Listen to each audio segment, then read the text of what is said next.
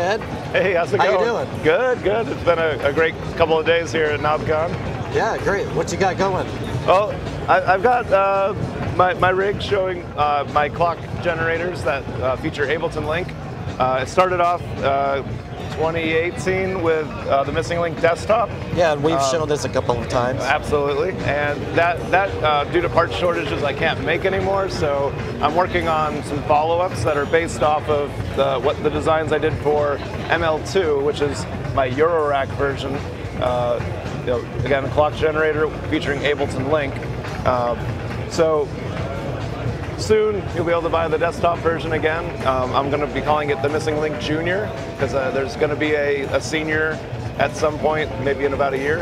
Um, but I can't really talk to that one that much. But this the desktop will soon be replaced, and be, you'll be able to get into your studio.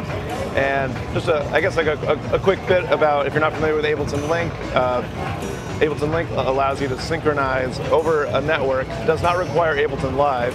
Ableton, the company, made Link for iOS and desktop apps originally uh, to sync up over Wi-Fi and not have to patch, you know, MIDI clock, which can be kind of sketchy sometimes coming out of the DAW. And uh, so they then ported it to for people to use with hardware, and so uh, I developed uh, ML2, and uh, so you have tempo, but also where something is musically. So you can this this this ML2 is, is synchronizing a, a mono bass voice here. Then I have another one down here that's synchronizing uh, sample drum or, or Pamela's new workout, which is then doing something with sample drums and chord. And then over here we have just uh, an iOS music app, uh, Launchpad. I, I did not develop that, but it, it uses Ableton Link as well. So what's cool about Link is now you can bring your modular to to your iOS Music Jam or vice versa. It really opens up a lot of possibilities about how to add different music making devices in, into a rig or get together with your friends and jam and not have to patch cables. You know, in an ideal world, everybody has an ML2 or uh, some kind of link device, and then when you get in a room together, you can just link up and and, and start jamming, and, and you don't have to think about uh, how do I patch my clock to, to your your devices and maybe compromise your setup because you have to change things around or you know that kind of thing. Yeah, I was just talking to someone this morning about because people come to Knobcon and they bring little, they bring the stuff like this and they want to jam together, and if nothing's in sync, it could be a, a nightmare. Yes. So actually, at, at Knobcon, uh, not last night, but the night prior, uh, three of my friends, we all got together with our cases in, in my room, and they, they, they all happen to have ML2s because they know me, and uh, and we were able to uh, just jam out and not have to.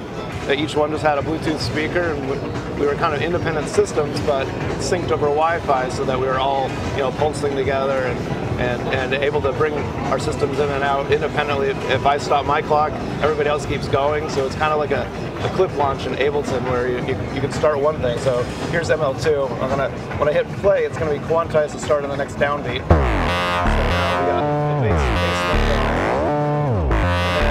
I'm gonna jump over to, to the launch pad to start some drums going. And then over here, I'm going to add some hi-hats with mono samples, which is being synced by, by uh, Link desktop. Now, the cool thing is if I change tempo here, everything else is going to follow along.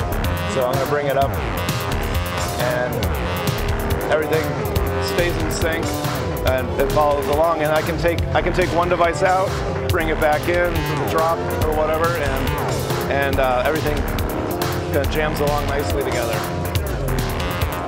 Now, do you need uh, do you need this to, to work with the? Oh no, the, you can have just an ML2. If you, if you just have the ML2 by itself or the missing link desktop by itself, it's, it's a lovely clock generator.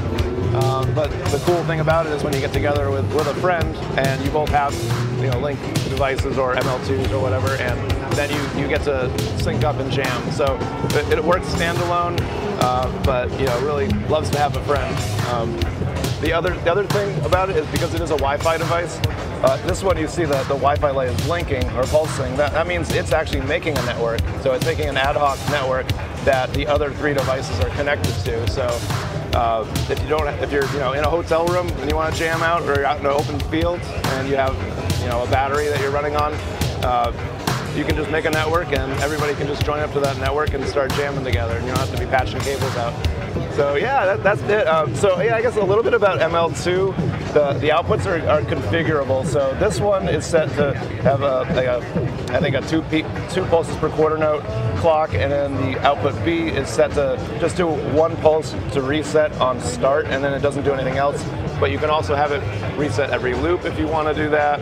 And then the one down here, you see that the A is actually looks like it's just on, but actually it, this is at 24 pulses per quarter note going into Pamela and and then the, the second output is in it well, goes high to tell this to start running. So if I hit play on this, now Pamela just started up, and now you know the sample drum and uh, and the chord are, are doing stuff. And when I stop it, output B goes low and Pam stops.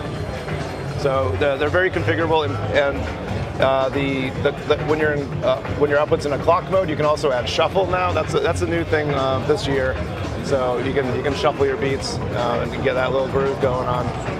So. Really cool. And they're these are available now, right? Yes, this the ML2 is available now. You can buy that uh, in a, a, lot of stores worldwide, but also direct from me at circuithappy.com.